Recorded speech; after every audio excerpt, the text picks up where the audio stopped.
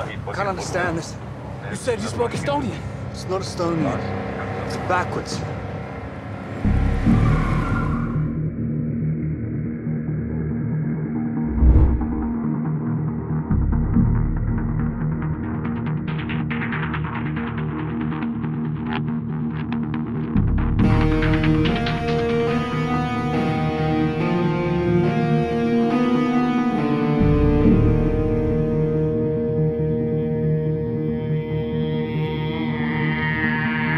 Música